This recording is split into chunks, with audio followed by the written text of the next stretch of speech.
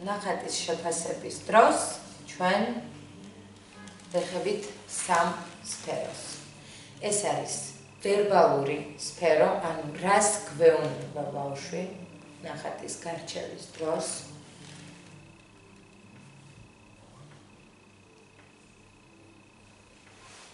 მეორე არის არავერბალური, რას ვამჩნევთ ხატვის დროს ბავშვზე დაკვირვებით, ან ვერბალური ნაწილის დროს რას ავლენს ბავშვი არავერბალურად ან ვაკვირდებით მის მიმიკას, მის ემოციებს და ეს არის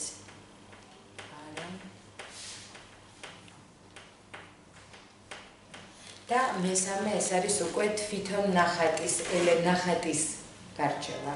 ეს არის ელემენტები, განლაგება, ფერი, ფერების გამოყენება, ზეწოლა და ასე შემდეგ.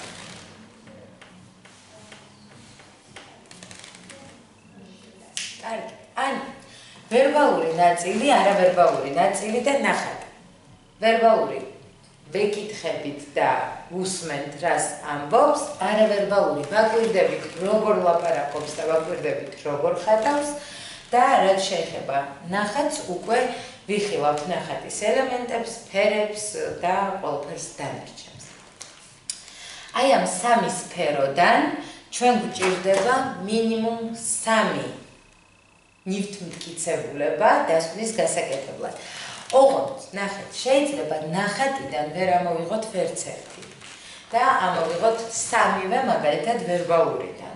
ან ორი ვერბალურიდან და ერთი არავერბალურიდან, ესეც ესეც არ თერაპიული დიაგნოსტიკაა, იმიტომ რომ მაინც ნახატთან არის კავშირში და ჩვენ შეგვიძლია ავიღოთ ის მომენტი, რომ თქვათ, ხატვის ტექნიკა აქვს საკმაოდ კარგი ბავშვს და ჩვენ ვერ ვპოულობთ შეცდომებს ესე ვთქვა რომ რომელიც წესით უნდა დაეშვა ქვეცნობიერიდან გამომდინარე. თუმცა ეს უფრო მოზარდებს ეხება. ალბათ ბავშვების შემთხვევაში საკმაოდ აშკარაა თვითონ ნახატში